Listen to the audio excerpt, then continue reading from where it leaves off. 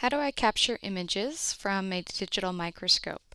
I have a microscope already connected to my computer with SPARKVUE open on the screen and on the home page of SPARKVUE the microscope is recognized as a camera. If I select image and follow the show path and then click on the middle of the screen and the play button there, it'll initialize the camera and bring up a view that's showing me part of what my field of view is if I were to look through the eyepiece of the microscope.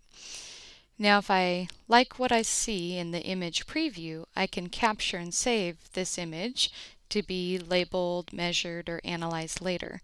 In the lower left are my microscope tools. If I click, I can open up the palette, and there's a check button. By selecting check, that's going to save that image.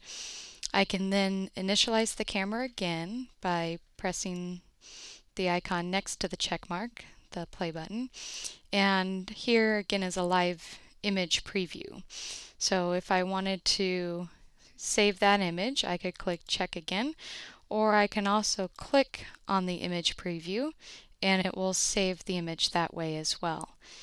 And then in the upper right, you'll see a legend where you can switch back and forth between any number of images that you take.